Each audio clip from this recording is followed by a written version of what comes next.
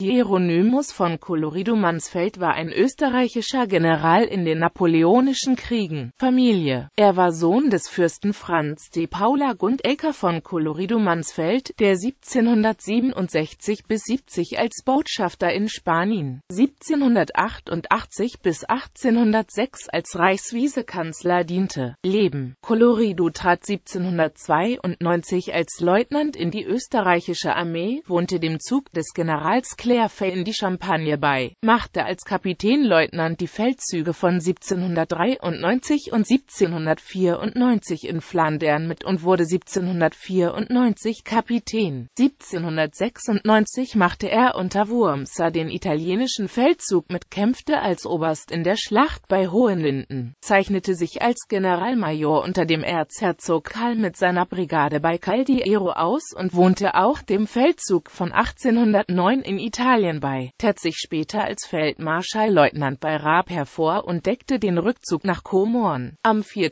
September 1813 erhielt Graf Colloredo das Kommando über das erste Korps der österreichischen Hauptarmee. In dieser Funktion nahm er im Oktober 1813 an der Völkerschlacht bei Leipzig teil. Rezeption Durch die kaiserliche Entschließung von Franz Josef I. vom 28. Februar 1863 wurde Hieronymus von von Colloredo-Mansfeld in die Liste der berühmtesten, zur immerwährenden Nacheiferung würdiger Kriegsfürsten und Feldherren Österreichs aufgenommen, zu deren Ehren und Andenken auch eine lebensgroße Statue in der Feldherrenhalle des damals neu errichteten K.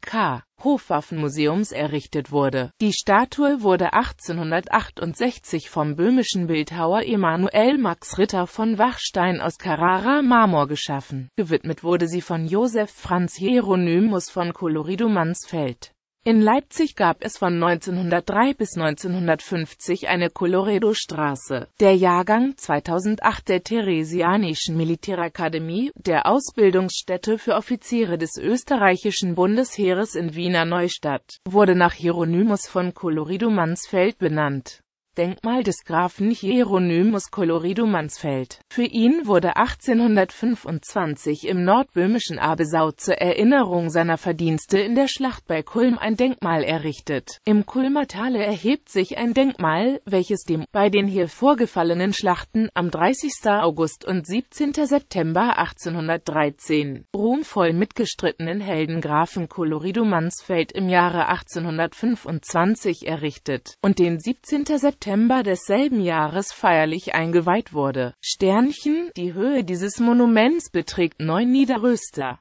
Klaftern oder 54 Wiener Schuh und ruht auf einem gemauerten Piedestal. Es stellt eine aus gegossenem Eisen verfertigte vierseitige Pyramide vor, auf deren unterstem Würfel sich folgende Inschriften befinden. Vorwärts den Feinden furchtbar, den Seinen teuer. Rückwärts Abesau am 17. September 1813. Rechts das österreichische Heer, einem seiner Führer auf dem Felde des Ruhms. Links dem Vaterlande und seinen Freunden zu früh entrissen.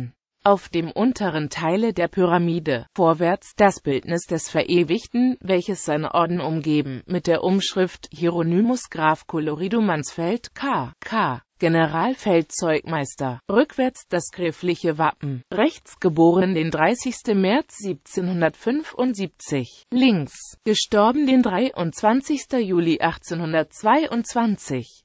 Die Spitze der Pyramide ziert der kaiserliche Adler, welcher einen Lorbeerkranz hält. Das Piedestal umgibt eine Balustrade. Auf der Rückseite der Susbasse steht, gegossen im Fürstel, fürstenbergischen Gusswerk zu Joachimsthal in Böhmen 1824 Sternchen. In der Buchhandlung des Herrn E. W. Enders in Prag ist eine fein illuminierte Abbildung der Einweihung dieses Denkmals für 6 FL, schwarz 2 FL, E. M. zu haben